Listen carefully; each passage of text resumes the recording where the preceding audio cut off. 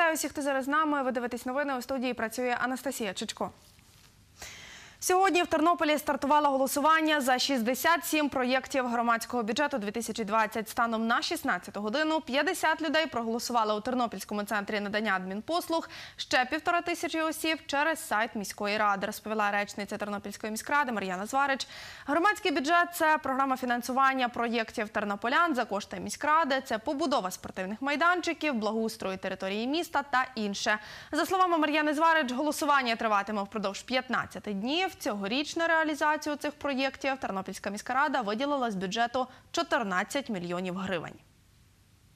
Це центр надання адміністративних послуг на вулиці Острозького, 6. Голосує за великий проєкт Дім ветерана вартістю 566 тисяч гривень. Командир 6-ї резервної сотні добровольчого українського корпусу правий сектор Сергій Коновал. Дуже швидко, буквально треба прийти з паспортом, тобі дають такий бланк, його заповнюєш, ну, дві хвилини максимум. Це приміщення, де має бути дім ветерана. Сергій Коновал із добровольцями та волонтерами розпочав тут ремонт. За його словами, у ньому проводитимуть лекції, тренінги, діятиме тренажерний зал. Чоловік розказав, чому віддав свій голос за цей проєкт.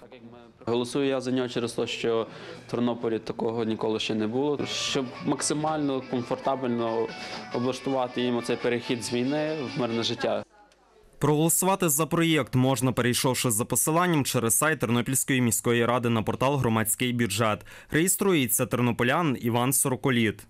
В порівнянні з минулими роками вже система більш відточена, вже простіше і в різний спосіб можна зареєструватися і через систему ідентифікації банківської Bank ID, і е, через систему е, цифрового підпису, ну, тобто в різний спосіб. Ну, мені найпростіше через Bank ID, е, я користувач Приватбанку, то досить швидко. Проголосувати можна за один малий та великий проєкт. Чоловік каже, за які проєкти віддав голос. За малий проект віддав голос за с- дитячо-спортивний майданчик на вулиці Чернівецькій, е, так як на цьому мікрорайоні бракує е, інфраструктури відпочинкової, сімейної, дитячої, спортивної. А великий е, шукав проект загальноміської такої ваги. І як на мене, то проект від спільноти активістів Трав'яний е, громадський простір Трав'яний пляж е, один з е, оптимальних і кращих. Він виконує кілька функцій. По-перше, це буде зручна інфраструктура для відпочинку. І друге, вона виступить захистом від е, можливих потенційної забудови цієї локації в парку Шевченка. Подав на громадський бюджет малий проєкт облаштування зали здоров'я дитячо-юнацької спортивної школи номер 1 Андрій Тернопільський. Вартість цього проєкту 300 тисяч гривень. Реалізація проекту відбуватиметься для тернополян, для громади міста Тернополя. Користь це заняття спортом на безкоштовній основі. Тобто це десь перетинається соціальна сфера. Кожен хоче та бажаючий може прийти в зал, зайнятися спортом. За результатами голосування фінансуватимуть 12 малих та 6 великих проєктів, каже речниця Тернопільської міської ради Мар'яна Зварич. Вона розповіла, як можна проголосувати за проєкт. Перше, це через портал Тернопіль Budget Едем тобто портал громадського бюджету. Друге з паспортом в центрі надання адміністративних послуг. І третє можна через термінал Приватбанку з карткою Приватбанку можна проголосувати за проекти громадського бюджету.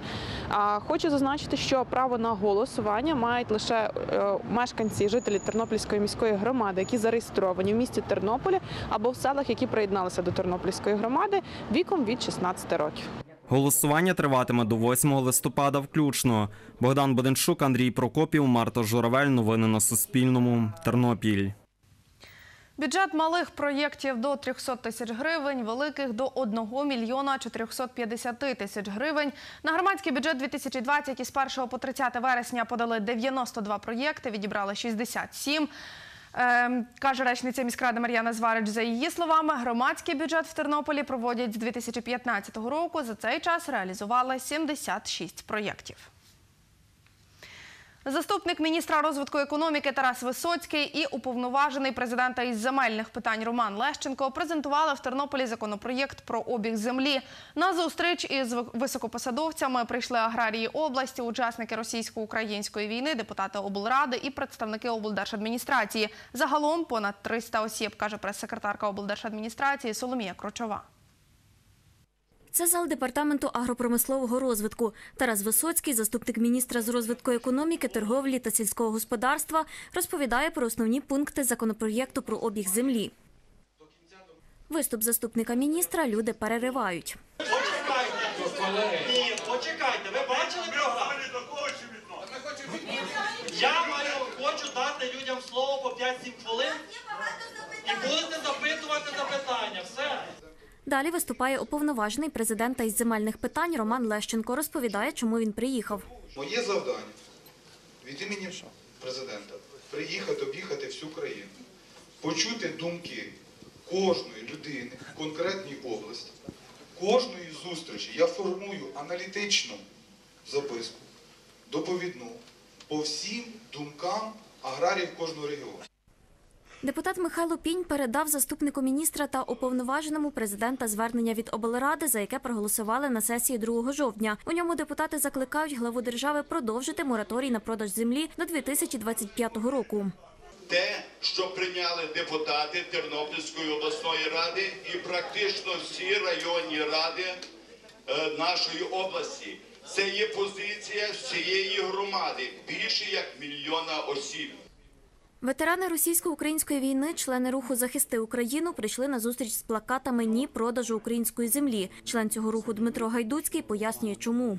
Роман Павлишин, учасник російсько-української війни, питає заступника міністра, чи отримають учасники війни землю, яку їм обіцяла влада після запровадження ринку землі. Е, Наша мета була достукатись до представників влади, до представника президента стосовно того, що зараз не на часі продаж е, українських земель. Е, Перша теза то, що ми не готові до закупівлі цієї землі, і нас насторожує, що е, саме той факт, що є підозра в тому, що цю землю скуплять іноземці, і е, насправді єдине, що залишилося поки що в нас, це українська земля. І ми не хочемо, щоб наші діти були кріпаками і працювали на панів. Тому ми спробували достукатись, наскільки це вийшло, ну покаже результат. І більше про це дивіться у підсумковому випуску новин на 19 годині, а також на нашій Фейсбук-сторінці ЮА Тернопіль. На 36 мільйонів 513 тисяч гривень збільшився дохід у бюджеті Тернополя цього року. В ухваленому в грудні торік бюджеті міста дохідна частина становила понад 2,5 мільярди гривень. За словами міського голови Сергія Надала, за 9 місяців бюджет перевиконали. Сьогодні на сесії Тернопільської міськради прийняли рішення, як розподілити ці кошти. Заклади освіти отримують е, 3 мільйони 492 тисячі гривень. Ці кошти будуть спрямовані на капітальний ремонт е, садочків, шкіл, на придбання нового обладнання. Управління молоді отримує 2 мільйони 333 тисячі. Ці кошти підуть на завершення капітального ремонту і реконструкції спортивного комплексу на братів Бойчуків. е, На ремонт басейну, який знаходиться поруч з цим комплексом. Понад мільйон гривень спрямовується для потреб охорони здоров'я. Е, Ці кошти підуть в основному на придбання комп'ютерної техніки. Більше мільйона гривень отримують заклади культури. Зокрема, ці кошти спрямовані на е, ремонт е, скейт-парку е, на пляжі Циганки. Понад 14,5 мільйонів гривень на управління житлово-комунального господарства. Ці кошти підуть в основному на капітальний ремонт е, доріг, на капітальний ремонт е, житлового фонду. 7 мільйонів 534 тисячі отримує управління транспорту. Ці кошти підуть на придбання необхідного обладнання, зокрема моніторів, зокрема е, GPS-навігаторів для нового транспорту, який придбувається комунального транспорту. Також ем, понад 5 мільйонів гривень спрямовується на потреби Тернопіль-Електротрансу в зв'язку з тими для, для продовження пільгового проїзду. І крім того, мільйон гривень спрямовується компенсація іншим перевізникам за пільговий проїзд тернополян. Сьогодні під час сесії 38 зареєстрованих депутатів проголосували за те, щоб розглянути їхні звернення до президента. У ньому вони висловлюються проти формули Штайнмаєра. Пропозицію вніс Віктор Шумада, представник фракції Європейська Солідарність. Також 30 депутатів висловилися за те, щоб розглянути проєкт про санкції щодо фізичних і юридичних осіб в Тернополі, які співпрацюють з Росією. Пропозицію щодо припинення роботи Сбербанку в Тернополі вніс позафракційний депутат Тарас Білан. За його словами, вперше його пропозицію зареєстрували 22 листопада 2018 року. Мій проект говорить дуже просту річ. Якщо ти торгуєш з москалями і віддаєш приміщення в центрі міста Тернополя, ти не маєш права отримати будь-які замовлення з Тернопільської міської ради. Будь-яка громада може собі це дозволити зробити. Незважаючи на це, на попередній сесії я вийшов на трибуну, показав, що всі документи готові, що все є. Незважаючи на це, секретар Тернопільської міської ради на цю сесію знову не включив його до порядку денного сесії. Це є пряме порушення статті 351 Кримінального кодексу України. Я буду домагатися, щоб секретар міської ради притягнули до кримінальної відповідальності. Тарас Богданович дійсно його неодноразово піднімає, але е, е, і ми підтримуємо це. І я голосував сьогодні за це питання. Суспільство не помітило, як суд київський е, розблокував і знав, зняв санкції з Сбербанку з 100% пакету акцій Сбербанку Росії. По питанню, яке він порушив, є така ініціатива, і ми її допрацюємо. Ми звернемося до е, керівництва держави, уряду. Щоб все-таки це питання зняття санкцій е, стосовно Сбербанку переглянути можливо. Депутати Тернопільської міської ради не проголосували за проєкт про звільнення із посади секретаря міськради Віктора Шумади. 23 із 38 депутатів були проти. Звільнити Віктора Шумаду із посади запропонував депутат Тарас Білан. Я не розумію, ніби Тернопільська міська рада, ніби всі українці, патріоти, але в мене таке враження, що секретар міської ради, це може моя стата особисто, готовий воювати за неньку Україну десь там далеко в Полтавській області. Був поданий позов е, на те, е, на деякі висловлювання е, депутата Білана. Найперше, які це висловлювання? Він звинувачував мене в тому, що я там перешкоджаю його депутатській діяльності, блокую якісь рішення.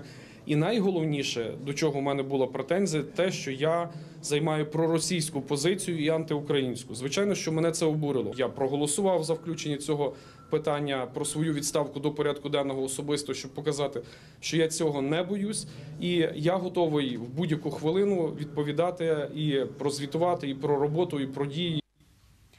Також депутати проголосували за премію імені Володимира Лучаківського 10 тисячами гривень. Нагороджуватимуть тернополян, які переможуть в одній із трьох номінацій. Майбутнє створюється сьогодні, формування позитивного іміджу міста та культурно-мистецькі, наукові та інноваційні досягнення.